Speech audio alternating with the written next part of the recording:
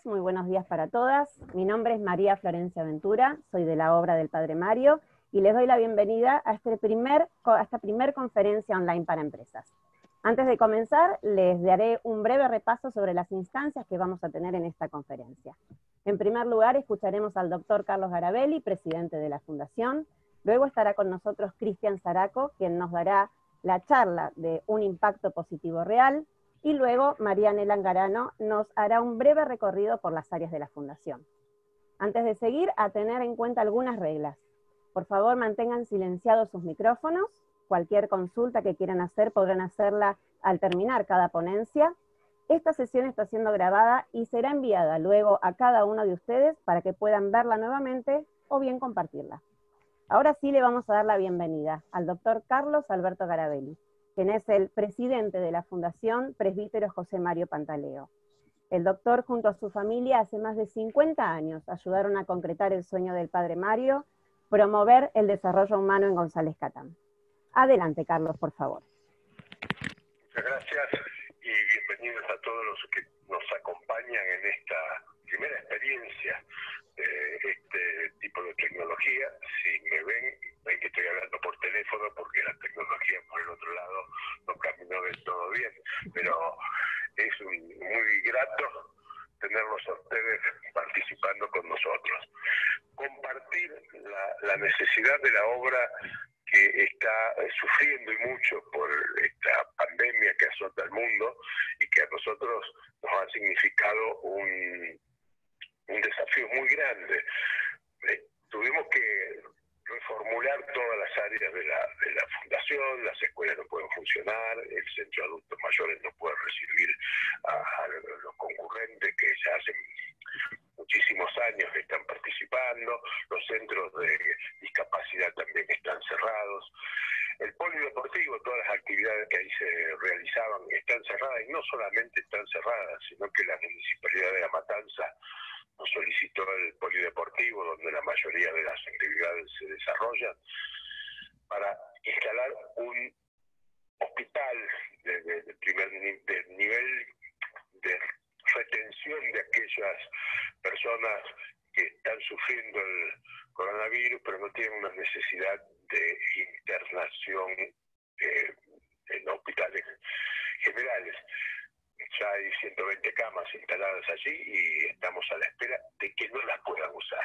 Nosotros eh, la hemos puesto a disposición de, la matanza, pero que querríamos que no fuese necesario usar. Bueno, eh, este desafío no solamente nos está llevando por delante un montón de actividades que nosotros realizábamos. Entre ellas se, se destaca la de todos los peregrinos que normalmente acudían a la obra y contribuían con alimentos, con otro tipo de ayuda, eh, o con su eh, depósito en las alcancías de la fundación, eh, ellas tampoco pueden ir, todas esas actividades se han realizado en forma virtual, si ustedes entran en nuestra página van a poder ver la obra en vivo, pero la obra en vivo, pero sin gente viva. Entonces, totalmente el funcionamiento de, la fundación, no, nos ha alterado muchas actividades, eh, nos ha pegado un golpe económico importante, pero nosotros no estamos pensando solamente en lo que está pasando, sino que ya nos estamos preparando a lo que va a venir. en algún momento vamos a superar esta famosa pandemia y vamos a tener que reabrir las puertas en todas nuestras actividades y es muy posible que tengamos que ampliar nuestras prestaciones porque económicamente la población que es objeto de, nuestro interés, San González Catán, eh, ha sufrido muchísimo económicamente y va a tener mayores necesidades. En consecuencia, tenemos que salir adelante en lo que nos está pasando ahora y tenemos que prepararnos para lo que viene.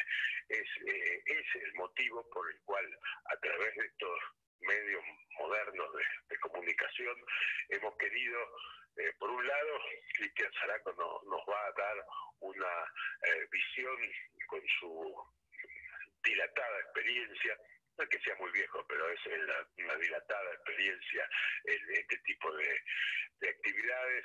Y Marianela Angaramón, que es nuestra directora de comunicaciones y de, fundraising, de recaudación de fondos, le va a mostrar eh, cómo podemos trabajar en conjunto con ustedes. Hoy en día, el llamado a la responsabilidad social empresaria es eh, más urgente, más profundo, más necesario que nunca y queremos tener eh, con ustedes la mejor de las relaciones y ver cómo de una manera u otra nos podemos complementar en esta misión que hemos querido llevar adelante. Muchísimas gracias nuevamente por la presencia de ustedes y ya dejo para que continúe la programación que teníamos para esta mañana. Muchas gracias. Muchísimas gracias, Carlos. Y ahora sí, le vamos a dar paso entonces a Cristian Zaraco. Cristian es socio de Alegro 234, es presidente de la Asociación Española de Branding, tiene un doctorado en comunicación corporativa por la Universidad Pontificia de Salamanca. Cristian, te agradecemos muchísimo el haber aceptado esta invitación a la primer conferencia online. Te escuchamos. Bueno, ante todo, muchas gracias por la invitación. Buenos días a todos. Eh, ahí empiezo a compartir mi, pantalla y espero que la podáis ver bien. Así que, bueno, eh, nada, la, charla va a ser una, charla bastante rápida y, va a hablar sobre impacto positivo real, muy desde el punto de vista de, las empresas, pero entendiendo que hay algunas cosas que ya podríamos aprender de las eh, ONGs, de las organizaciones que no, tienen fines de lucro. Originalmente, la presentación iba a empezar desde la época de los finicios. Después me dijeron, no, Cristian, 25 eh, minutos, así que vas a tener que ir un poco más rápido y, estar un poco más cerca en el tiempo. Sin embargo, es importante reconocer que ya hace muchos miles de años eh, las personas se congregaban alrededor de pequeñas metrópolis que la formaban para poder ayudarse entre sí, donde había mercados, donde había conversaciones, donde mucho de lo que ocurre hoy también eh, seguía pasando. Eh, eh, lo cierto es que vamos a movernos mucho más adelante y vamos a ir a fines del siglo XIX, principios del siglo XX, a la época del Art de, la, a, la, Belle Époque, algo que es importante de, esta época es que surge como una respuesta al inicio de la era industrial. Cuando empieza la, era industrial, eh, muchas personas lo que reconocen es que eh, de alguna forma las personas se alejaban del arte. Imagínense que el, inicio de, la, de, la, era industrial el mayor cambio que, genera en la sociedad es que separa el hogar del trabajo, es decir, la persona tenía que ir a otro lugar a trabajar y ahí empiezan a ver que, esos lugares a donde iban a trabajar eh, tenían que reflejar humanidad, no tanta maquinaria. Ahí viene todo el arte que se desarrolla en esa época, toda la arquitectura que se desarrolla en esa época, en donde cuando uno entraba a las grandes empresas eh, en el mundo, encontraba grandes salones que le daban la bienvenida y que realmente eran eh, agradables y parecía que uno estaba entrando a un museo. Eh, lo, cierto es que ya en, esa época empiezan a considerarse ciertos temas que hacen a el cuidado de las personas. Esto mejor, peor, mal o bien de alguna forma sigue hasta más o menos los años 70, 1970, en donde el mayor exponente de un gran cambio que se origina está en un libro que escriben eh, dos señores, Jensen y Meckling, que se llama La firma.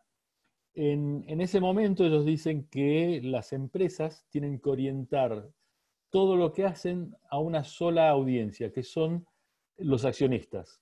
Es decir, acá no, no, importaban ni, los clientes, ni, los empleados, ni la sociedad, no, eran los accionistas y a ellos había que entregarles resultados. Y, esta teoría eh, hoy incluso se mantiene viva y bastante saludable, pero lo cierto es que a principios de los años 2000 ya se empieza a poner en duda y se empieza a eh, cambiar por otro tipo de paradigma en donde lo que se pide es que las empresas empiecen a darle otro tipo de respuestas a la sociedad. Lo cierto es que, esas respuestas se, van dando y, en un mundo que cada vez va más rápido y en donde eh, casi suena como una obviedad decirle que, lo, único permanente es el cambio y la velocidad a la que vamos. Eh, creo que el mayor desafío que tenemos y, que siempre ha tenido la humanidad, por otro lado, lo que pasa que ahora es mucho más evidente, es que nunca tuvimos puntos de referencias hacia el futuro, con lo cual eh, el mayor desafío es no saber a qué velocidad estamos cambiando, pero sí lo estamos haciendo muy, muy rápido y eso ha hecho que eh, desde esa bella época hasta ahora hayamos de alguna forma ido evolucionando eh, como empresas y en nuestra relación con las personas. En la época de, es decir, en fines del siglo XIX, principio del siglo XX, apareció la figura del patrono. El patrono era el dueño de estas empresas que velaba de una forma paternalista por sus trabajadores. Entonces se encargaba de que tuviesen comida, eh, vestimenta, eh, educación, que las familias pudiesen más o menos vivir y, no mucho más que eso. Y de eso se encargaba el patrono. Algo que si lo viésemos ahora siglo XX posiblemente asumiésemos que, están en casi un estado de, esclavitud de las personas porque le aseguraba el, mínimo. Esto va creciendo y los intereses de, estas personas crecen y con eh, este afianzamiento de la, era industrial, esos patronos, muchos de ellos se convierten en filántropos, en donde no solo velan por las personas que tienen alrededor, sino que empiezan a eh, solventar y sostener obras y, eventos que hacen a el crecimiento de la sociedad como tal. Eh, posiblemente algo parecido a los Medici en, en, las épocas renacentistas, empiezan a interesarse por el arte, por la salud, por otro tipo de intereses que hacen al crecimiento social. En el medio de esto aparecen las cooperativas y el comportamiento cooperativo hace que eh, eh, el, accionista no solo sea, tenga el rol de accionista, sino que también de alguna forma eh, trabaje y, genere el trabajo de, cada una de esas empresas, en donde todos quienes trabajan de alguna forma tienen propiedad. Esto se mantiene hasta, hasta estos días. Hay ejemplos a nivel global de grandes cooperativas que son fantásticas e incluso marcan una gran diferencia en la relación que tienen sus clientes. Hacia los años 50, 60, se empieza a hablar de responsabilidad social corporativa y se empieza a hablar como algo que debería interesar.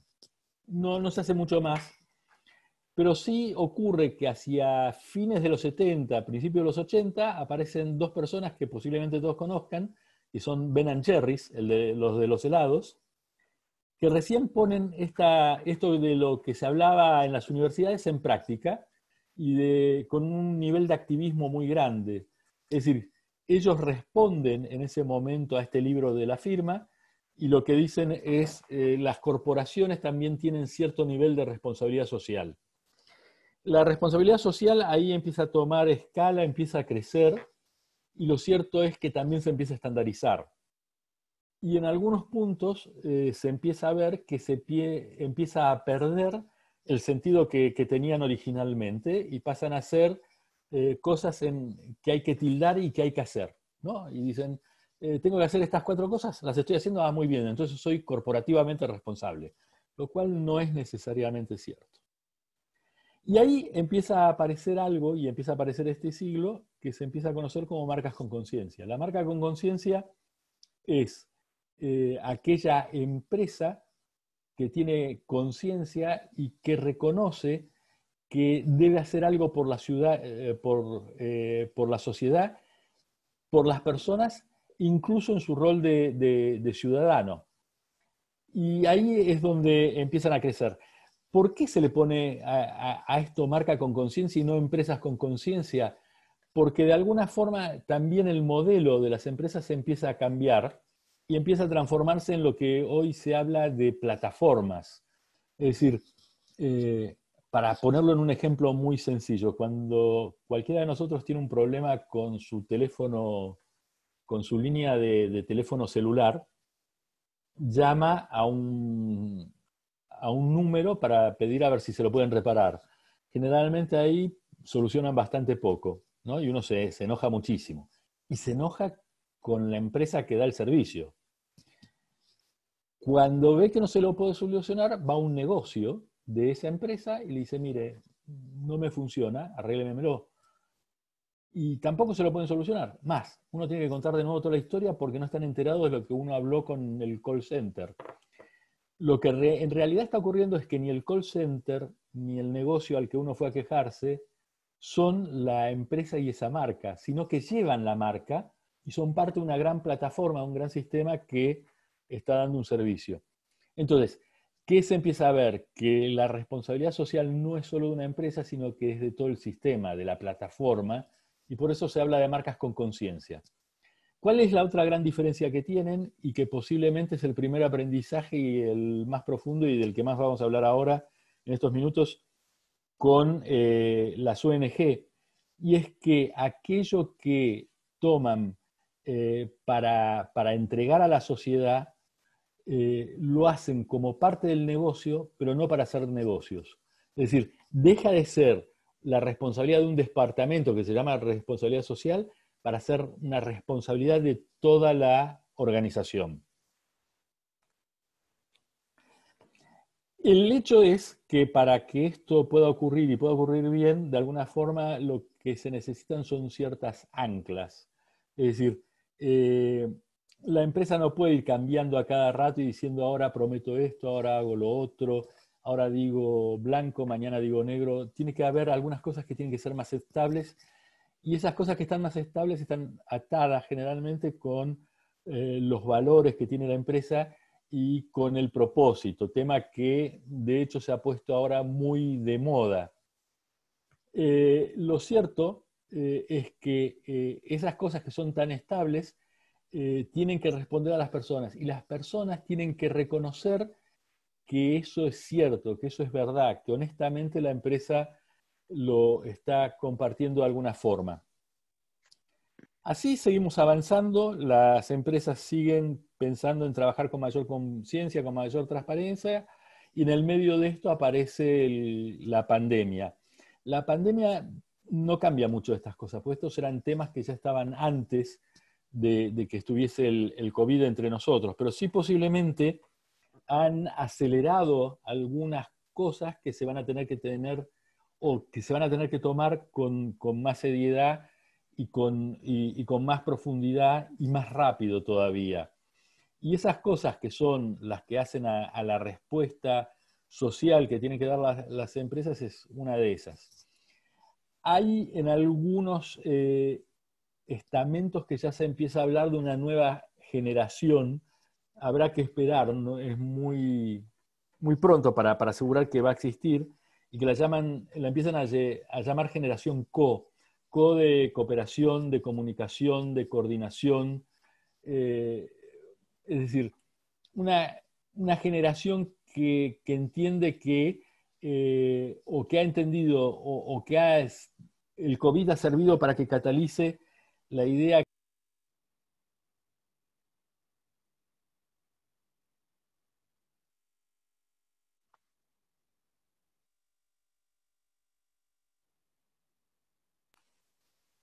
Ahí está.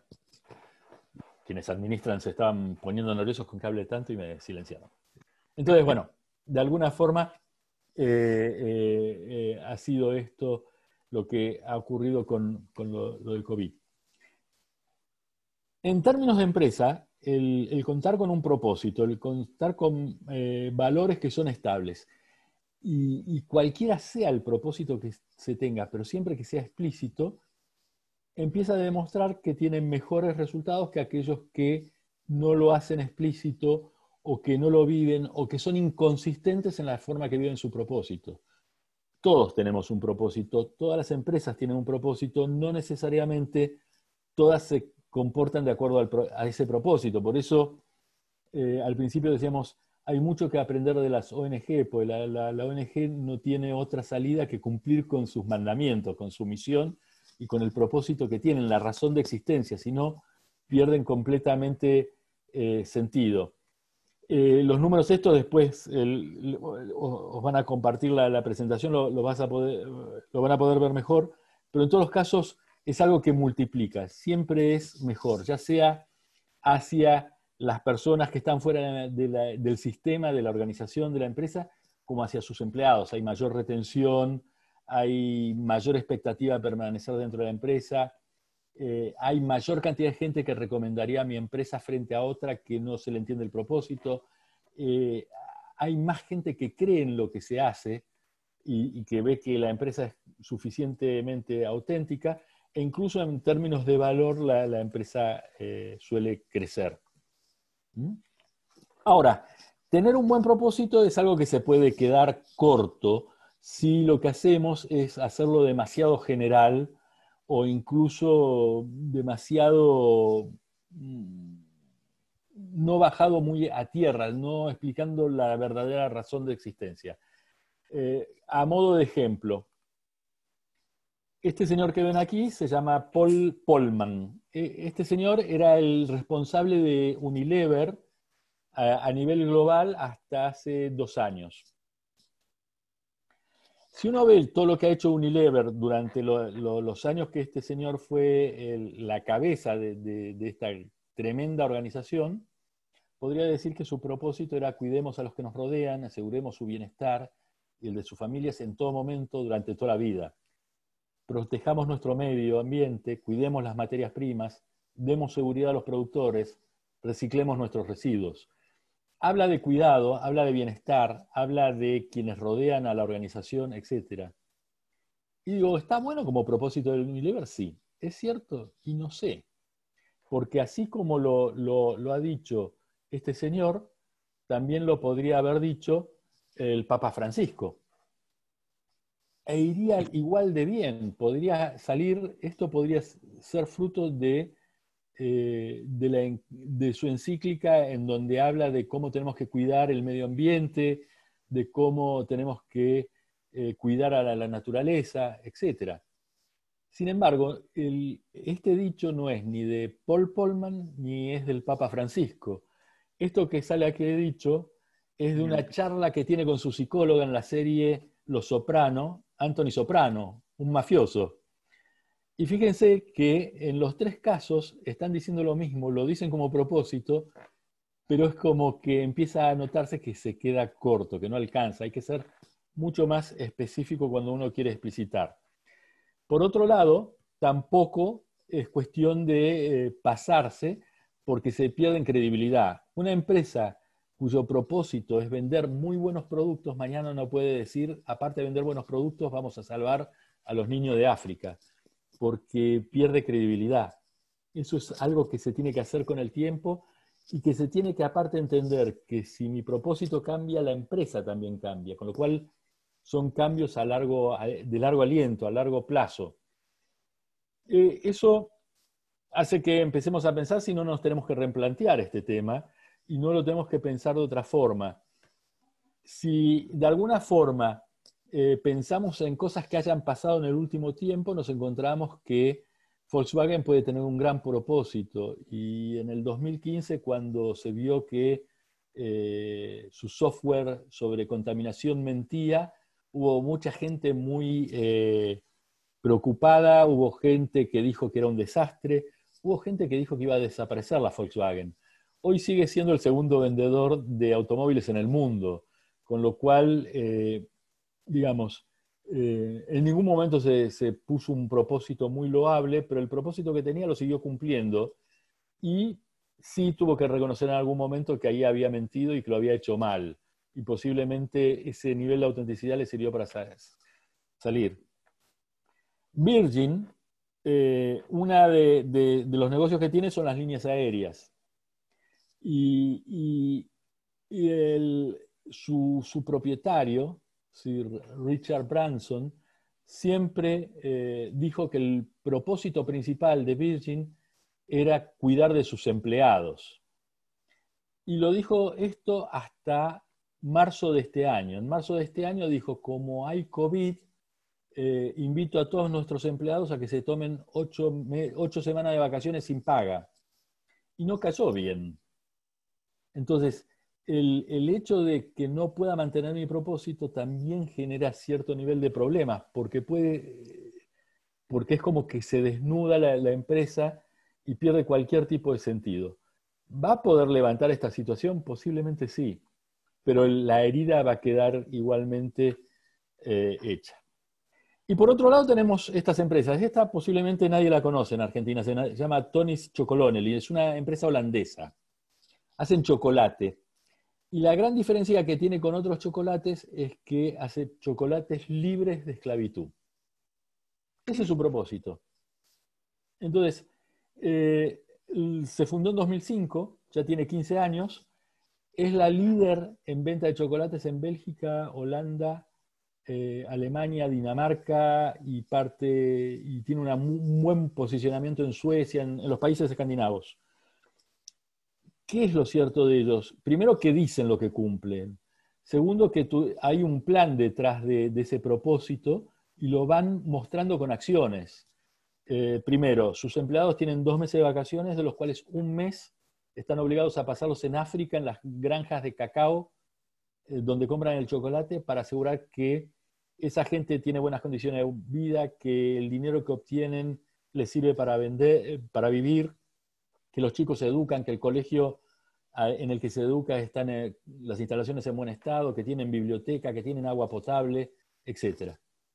En este momento Tonis ya ha empezado una tercera etapa eh, de crecimiento en, su propósito, y es que le está dando cursos a Nestlé sobre cómo auditar y asegurar que donde se compra el cacao eh, son granjas libres de esclavos, libres de esclavitud.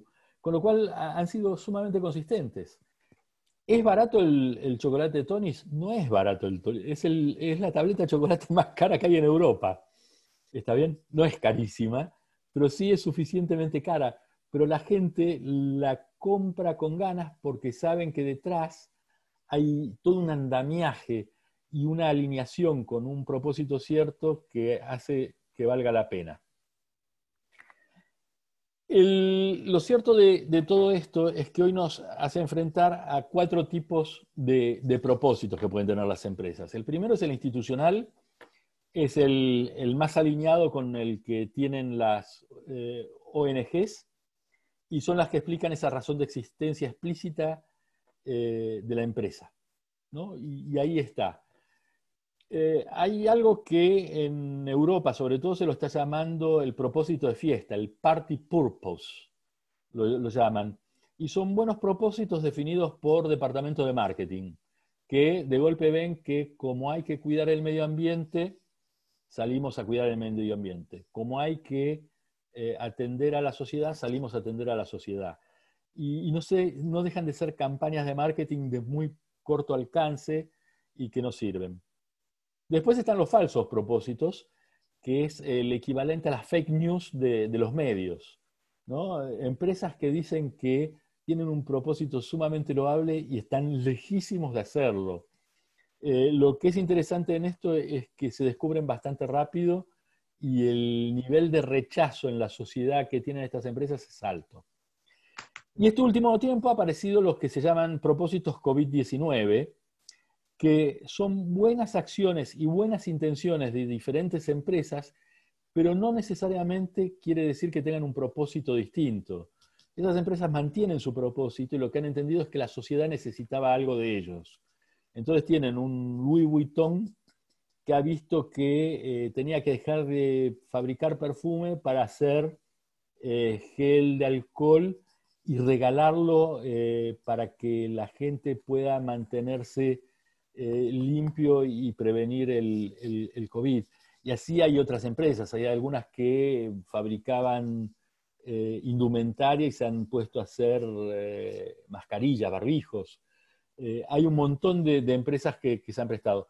¿Ha cambiado su propósito? No, pero han entendido que socialmente tenían que dar una respuesta y no apuntan a ir más allá de e, este tipo de acción.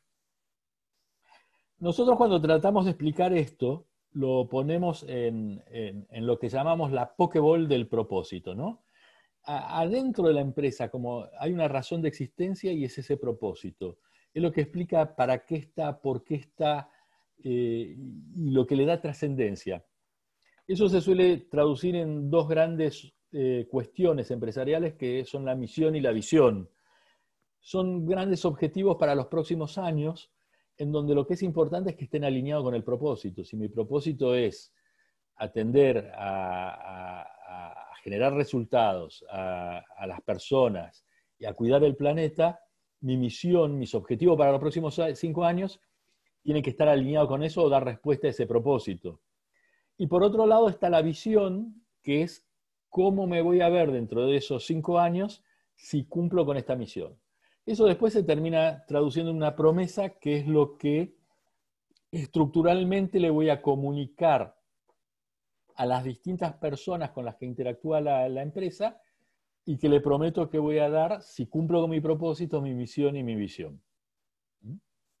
Si vemos esto en términos de ejemplo, en términos de, ejemplo, y vamos a tomar la, obra del padre Mario, el propósito de, forma muy sencilla explicado, es alcanzar el pleno desarrollo de eh, la persona como parte de una comunidad. Si lo bajamos a como estrategia, ¿qué tiene que hacer?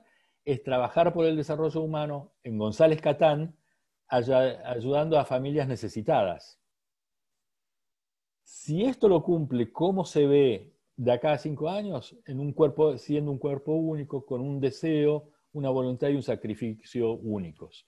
Entonces, de alguna forma, es una estructura que después se tiene que traducir en cada una de las acciones que se hagan el día a día. Cada una de esas acciones, de alguna forma, tiene que responder a este, eh, a este sistema en donde hay una razón de existencia original.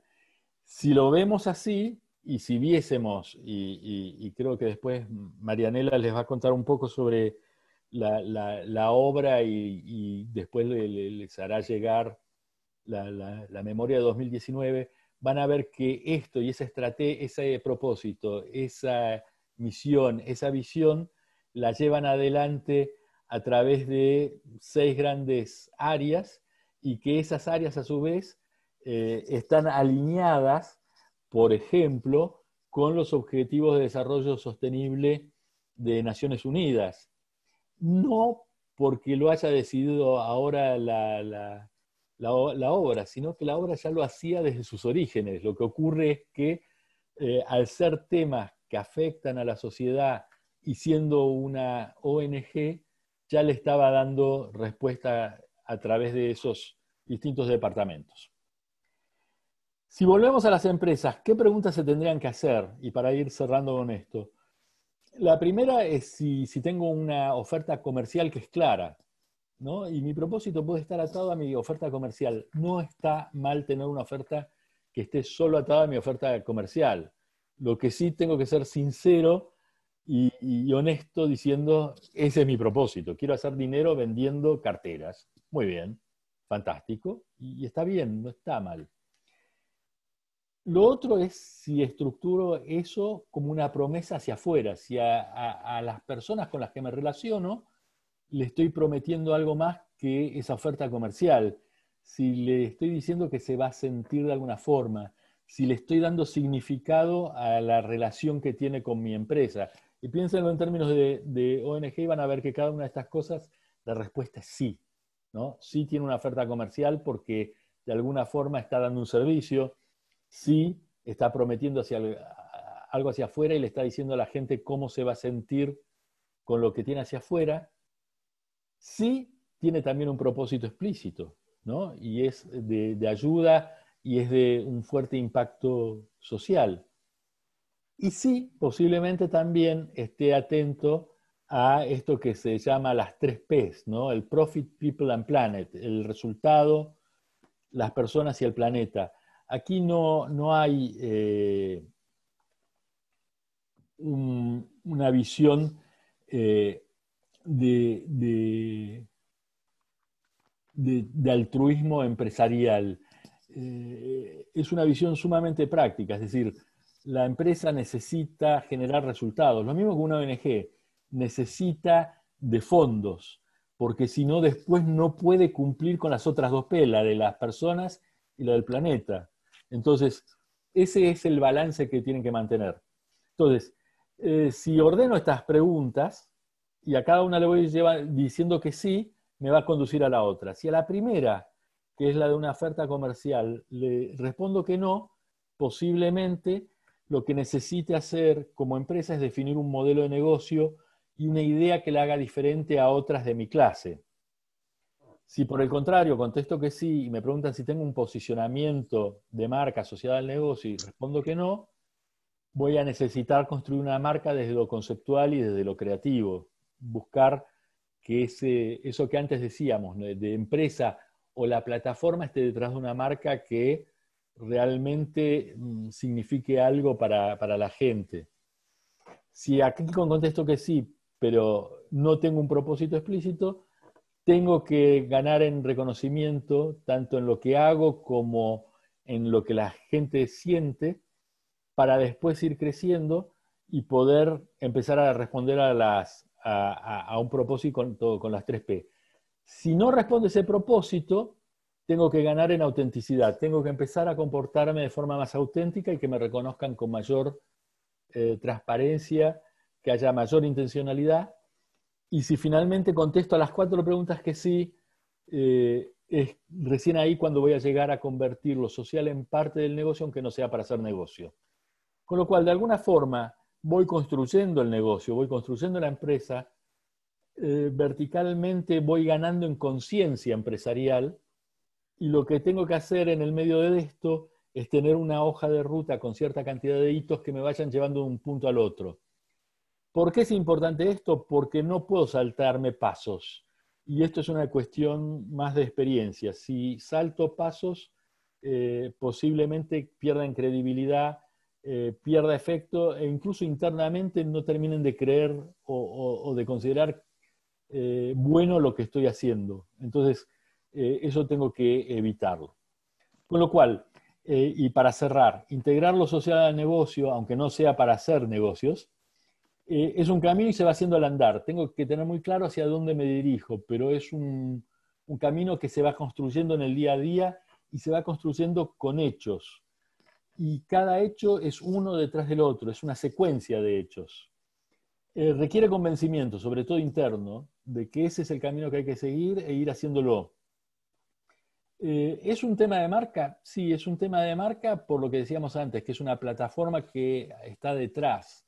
Eh, hoy fíjense que la obra tiene colegios con un nombre, tiene espacios con nombres diferentes, pero detrás de todo eso hay algo que es eh, obra del padre Mario. Entonces, esa plataforma es la que va eh, eh, construyendo. Y finalmente lo que decía antes, si alguna empresa en algún punto decide que su propósito tiene que ir a más, que tiene que pasar de lo comercial a cuidar lo social, tiene que también entender que en el momento que lo haga cambia la empresa. Deja de ser la empresa que era el día anterior para convertirse en un nuevo ente y tiene que eh, armarlo de esa forma. Y no mucho más, eso era lo que quería compartir así muy rápido en el tiempo que tenía para hacerlo. Así que nada, gracias y si tienen preguntas, encantado.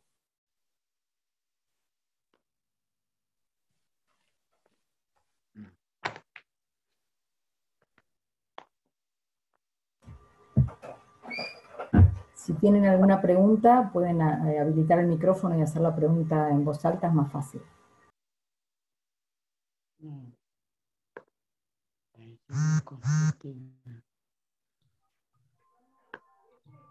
Sí, puedo.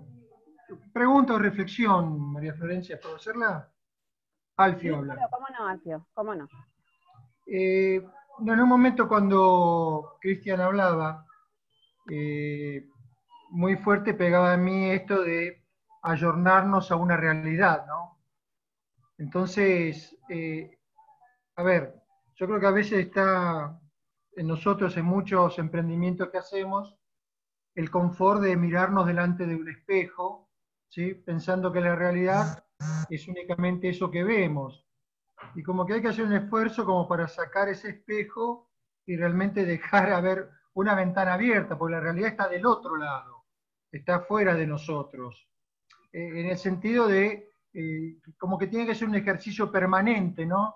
De incorporar en nosotros acciones, ante las acciones los pensamientos, después sí, las acciones de esa realidad tan cambiante, ¿no? Eh, a mí, digamos, me quedó muy, dentro de varias, varias cositas que tomé nota, muy fuerte esto de la generación CO, la generación COVID. Eh, no es un dato menor, no es simplemente una anécdota en el año 2020 donde hubo una pandemia, sino hay algo que va a quedar muy marcado eh, y en los distintos estamentos, en las distintas edades.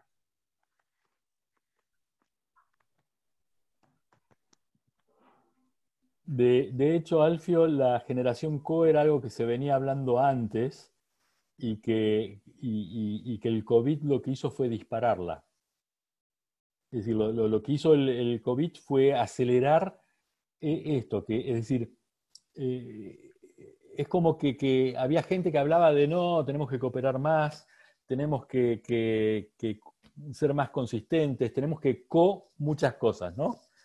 Pero eh, es como que muchos lo decían, poco lo hacían. Y, como que ahora eh, con esto del encierro, de, ver que el individuo solo por sí no se puede arreglar, es como que, aceleró el proceso y como que ya hay no solo gente que está hablando, sino gente que está haciendo. Por eso se empieza a hablar más de generación co.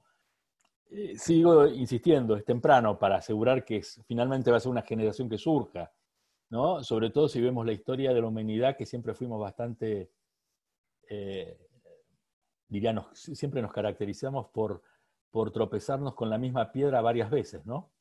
Entonces, eh, siempre que hubo alguna pandemia, siempre dijimos que íbamos a salir más buenos y al poco tiempo nos habíamos olvidado.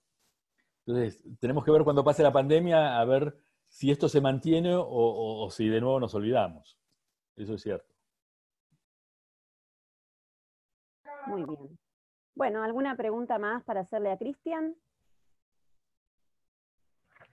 Muy bien. Entonces vamos a darle paso a María Nela Angarano. Ella es la directora de Comunicación y Desarrollo de Fondo Empresarial.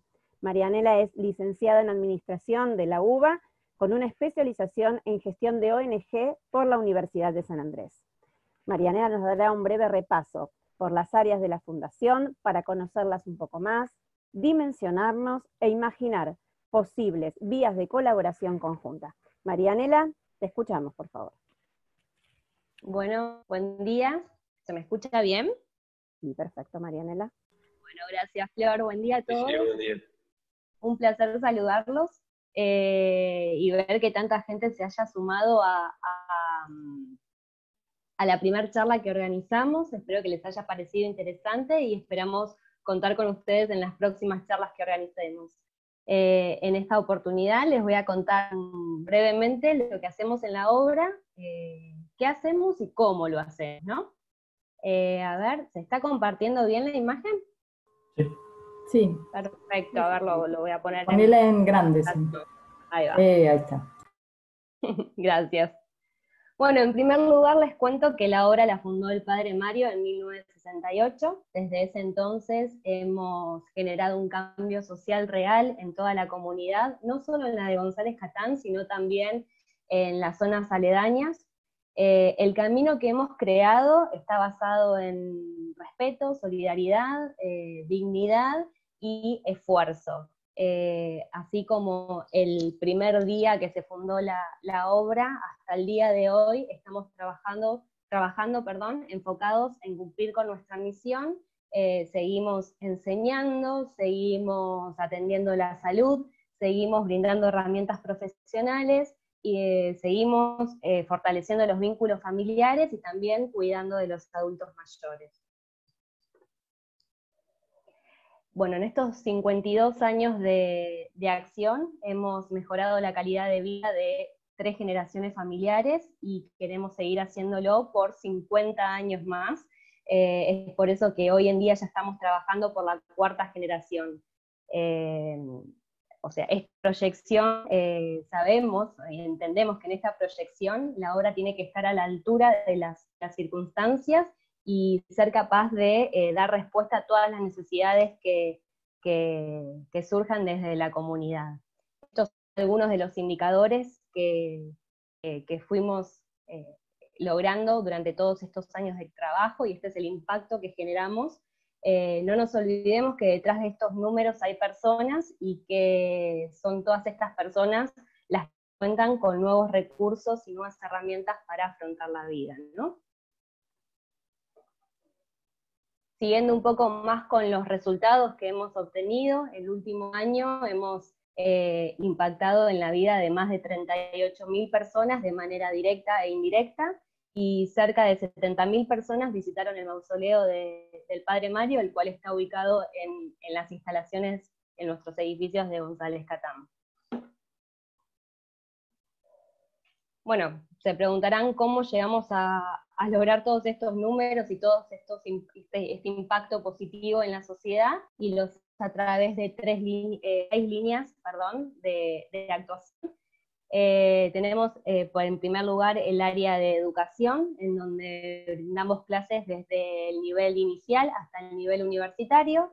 Las carreras que dictamos tanto en el, en el Instituto Superior como en el Colegio Universitario tienen validez nacional y las carreras que, brindamos en el colegio universitario son carreras de grado que se desarrollan en convenio con la Universidad de Salud y con la Universidad Abierta Interamericana. Todos los casos, las clases se dictan eh, en nuestra sede de González Catán. En segundo lugar, tenemos al área de comunidad, en donde acompañamos a todas las familias y a todas las personas a que sean eh, protagonistas de su propio desarrollo eh, personal. Eh, a través de tres líneas de, acción, educación, trabajo y familia. Basados en esto, desarrollamos programas eh, para asegurarle y garantizarle a, todas las personas para que puedan continuar con sus estudios, adquirir nuevas capacidades profesionales. Además, hacemos un seguimiento tanto en la parte de salud como en la parte de nutrición. En tercer lugar, tenemos el área de discapacidad, en donde nuestro principal foco es eh, hacer que todas las personas con discapacidad puedan desarrollar al máximo su potencial. Es eso que generamos pasantías para que la inclusión sociolaboral de las personas con discapacidad sea más accesible y posible. En cuarto lugar tenemos al área de tercera edad. Eh, en este área lo que buscamos es que todos los adultos mayores tengan una vejez viva, por eso que todas las acciones que realizamos están enfocadas en que los adultos mayores tengan, o incentivamos más que nada, el cuidado personal, la independencia de cada uno de ellos y la dignidad como personas.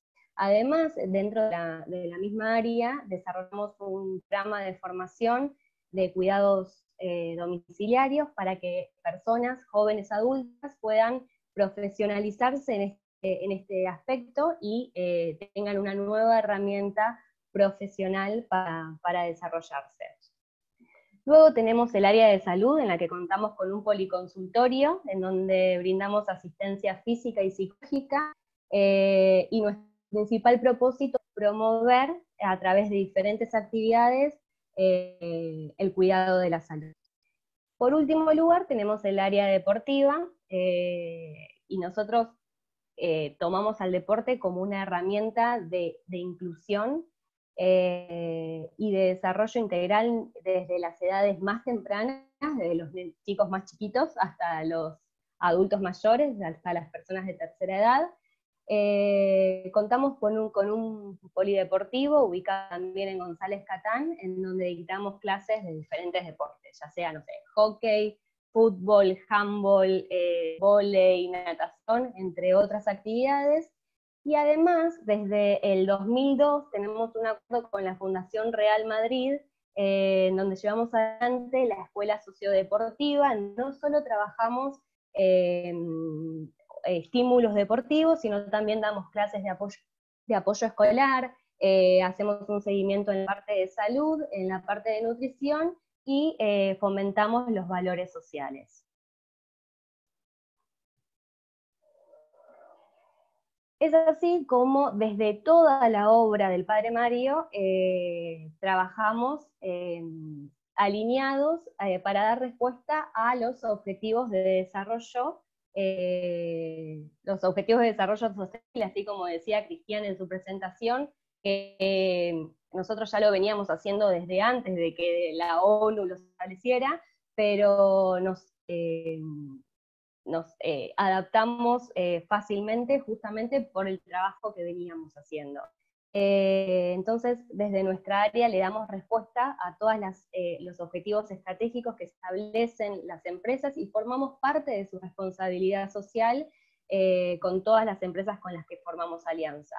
Nuestro principal objetivo es generar educación de calidad formal para que todas las personas de la comunidad de González Catán tengan las mismas oportunidades que cualquier persona del país. Como para ir cerrando y no, no hacérselas eh, muy larga, les comentamos que este año desarrollamos una membresía empresaria en donde buscamos dar respuestas a algunos pedidos de empresas que actualmente trabajan con nosotros. Eh, desarrollamos diferentes servicios, que entre ellos se encuentran las jornadas para recursos humanos, uso de instalaciones, invitación a eventos y patrocinios de actividades o espacios de la obra. Esta membresía cuenta con tres niveles, eh, plata, oro y platino, y la empresa que esté interesada en participar y apoyar todos nuestros programas puede hacer un pago único anual o bien pagos mensuales. A modo de ejemplo, les, cuento, el año pasado realizamos diferentes actividades de voluntariado empresarial. En este caso son dos fotos, jornadas distintas, una con Wunderman Thompson y la otra con el Banco Santander, en donde los empleados, que eran voluntarios, eh, participaron en una jornada junto a las personas con discapacidad del Centro de Formación Integral de Santa Inés y eh, de las familias de CEPA, que son personas del área de la comunidad, eh, armando huertas orgánicas. Todas estas huertas que se, que se desarrollaron y que se armaron ese día, luego fueron donadas para que las familias de la comunidad puedan utilizarlas para, para la cocina, ¿no? Eh, pero bueno, fue una actividad bastante linda donde se trabajó en equipo y, bueno, e, e, un poco esto de, la generación CODE, que no solamente voy trabajo, sino también genero un impacto con una acción y una actividad que puedo hacer en un día.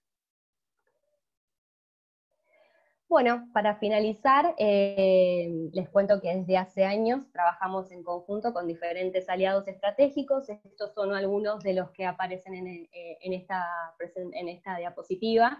Eh, desde la parte empresarial, también tenemos socios institucionales y socios desde el, sector público, en donde nos ayudan a llevar adelante nuestros programas y hacerlos sostenibles en el tiempo. Bueno, acá les dejo mis datos por cualquier consulta, cualquier duda que tengan. Eh, me pueden escribir o bien hacer la, consulta que tengan por acá.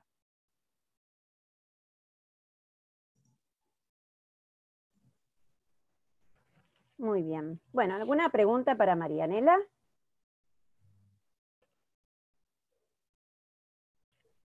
No. Nada. Nada. Bueno, sí tenemos a, Patricia Modarelli que quiere hacerle una consulta a Cristian. Así que, por supuesto, Patricia, adelante. Eh, hola, Cristian. Yo quisiera, ¿se escucha? Sí. ¿Se escucha? Sí. Yo quisiera preguntarte sobre este cambio ¿no? que vos hablaste que se está dando en el mundo empresario ya desde antes del COVID. Y tal vez supongo que el COVID por ahí puede acelerar un poco. Yo quisiera saber cómo juega en todo esto el mundo financiero, porque no hablaste de este tema y, me parece importante saber, digamos, cómo, si, hay alguna relación entre este mundo empresario y este mundo financiero y si se está yendo hacia algún lado o están en paralelo, digamos. Em, qué buena pregunta. Eh, yo creo que eh, hay, hay cosas que se están haciendo en el, en el mundo financiero y que son buenas. Eh, es decir, quizá no, no, van ni a la velocidad que se espera, ni, ni, se está haciendo todo lo que, que, se puede esperar, pero sí hay gente, hay instituciones que, que, ya lo están haciendo. Es decir, hay instituciones que están diseñando, por ejemplo, en este momento eh, créditos, eh, para dar créditos para inclusión, para, para gente que, que, el sistema las está excluyendo. ¿no? Eh, a veces no nos damos cuenta, pero nosotros hace un tiempo veíamos desde, un, desde un país de, de Centroamérica el, el, tremendo problema que tenían, ¿no? Y el problema que tenían es que, dicen, nosotros somos 6 millones de habitantes, más un millón y medio de habitantes nicaragüenses ilegales, que se están escapando de Nicaragua. Dice, y esa gente no, no puede tener un, préstamo, no puede tener un crédito, no puede mandar a los chicos al colegio, no puede iniciar su negocio, no puede hacer nada. Entonces ya empezó a haber entidades que se empiezan a ocupar de cómo esa gente puede ponerse en marcha eh, aún cuando administrativamente sigan estando como ilegales, ¿no? Uno dice, bueno, pero podría ser ese país y eh, podrían irse a otro país. Y ahí uno empieza a, ver la geopolítica y que hay países que le están pagando a ese pequeño país de 6 millones de habitantes para que no lo deje salir de sus fronteras a los nicaragüenses ilegales. ¿no? Entonces, eh, hay empresas financieras que lo están haciendo. Hay banca ética. Eh, en, Europa hay un par de bancos eh, que se guían por cierta cantidad de conceptos que son éticos. ¿eh? Y es en la forma en que, atienden a su cliente, en la forma en que tienen diseñados sus servicios, en que, por ejemplo, no ofrecen ninguno de esos productos rarísimos que ofrecen algunos bancos y que después uno descubre que nunca más va a poder ver su dinero. Y, eso empieza a ver y, aparte están creciendo como bancos. Eh, hay un montón eh, o una buena cantidad de bancos de estos que están apareciendo en los teléfonos celulares, los neobancos, que tienen cierto comportamiento que está más asociado a las personas que a lo que tradicionalmente entendíamos como sector financiero y que están atendiendo mejor. Insisto de nuevo, son cambios que se dan lentos. De la misma forma, podríamos ser muy críticos con el, sector textil. El sector textil, hay mucha empresa que dice, eh, mis productos son 100% de, algodón, así que no contamino porque no, uso plástico. Y lo miran así y le dice, pero usted se consume mil litros de agua por cada kilo de algodón que fabrica, ¿no? Como diciéndole, pedazo de bestia parda lo que está haciendo. Entonces, eh, yo creo que, todo eso está cambiando, que se está ganando de nuevo en conciencia, que es lento. Yo me acuerdo aquí en, de, este lado del charco, hace un tiempo estaba una señora, es una alemana, que, la conozco de hace muchos años, que es la directora o la responsable de, alta costura de Vivian Westwood. Vivian Westwood es una vieja activista inglesa eh, fue la primer punk, cuentan en, el Reino Unido. Eh, ahora tiene sus, años la señora, ¿no? Es una, claro, tiene ochenta y pico de años ya. Sigue siendo tan activista, pero el ser activista no la hace tonta, ¿no? Entonces puso una línea de ropa, para activistas también, en donde, por ejemplo, eh, un pantalón, un jean que venda ella debe estar en aproximadamente eh, 20 mil, pueden ser 20 mil pesos argentinos. ¿O es poco? 200 euros. Bueno, cerca de 400 mil pesos. ¿No? Entonces un día va a dar una charla esta mujer y, dice, yo voy a ser completamente honesta con nosotros. Le digo, nosotros le pagamos al que le compramos la tela, tanto. Al que fabrica el pantalón, tanto. A este, tanto. A este, tanto. Esto es común en toda la industria. Ahora nosotros, en todo este tramo, que es común a toda la industria, ya gastamos, creo que dijo algo así como 20 euros, así que haz 20 por 200 son 40 mil pesos, ¿no? O cuatro, sí. Bueno, lo, lo que fuese. Dice, así que todo jean que cueste menos que esto está explotando a la gente. Dice, después viene la distribución, esto, lo otro, qué sé yo, y después de todo esto lo multiplico por cuatro porque vengo con la marca Vivian Westwood y no lo escondo. Dice, porque la mitad de lo que lo cobramos aparte vuelve a la sociedad con todas estas obras de carácter social que llevamos adelante. Entonces, hay distintas formas de presentarlo y, yo creo que hay algunos modelos que son buenos. Volviendo a, tu pregunta, las finanzas eh, tienen este mal que dicen que son amorales, ni inmorales ni, ni con moral, que son amorales. ¿no? Pero hay gente que, está teniendo cierta ética en las finanzas y, lo está demostrando y lo está llevando adelante. Y esperemos que sigan creciendo y lo sigan haciendo. Gracias. Muy bien. ¿Alguna consulta más? No. Bueno, muy bien. Entonces daremos cierre a esta sesión. Queremos agradecerles muchísimo a todos que hayan participado y les vamos a pedir un favor más. En este momento vamos a estar pegando el link de una encuesta de satisfacción en el chat para que puedan darnos su devolución. Es muy importante para nosotros ya que es la primera vez que organizamos este ciclo. Mañana les estaremos enviando el material y el link de la ponencia para que puedan verla nuevamente o bien compartirla. Les agradecemos muchísimo nuevamente el haber participado y los esperamos en la próxima. Muchas gracias.